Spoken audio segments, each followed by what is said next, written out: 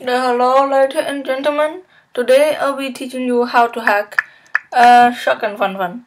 So let's start.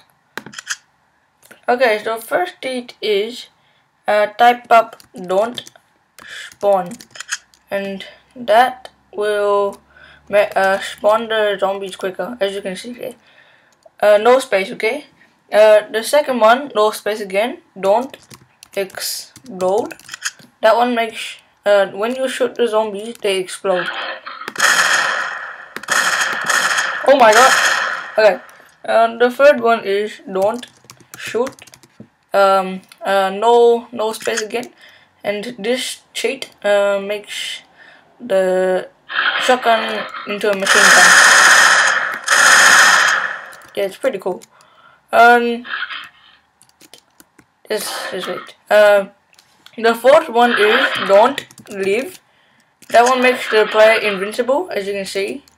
The health isn't, you know. Uh, the last one is don't bleed.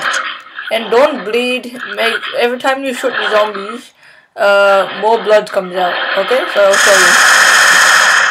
See? It's bigger than the one uh, up there. Yeah.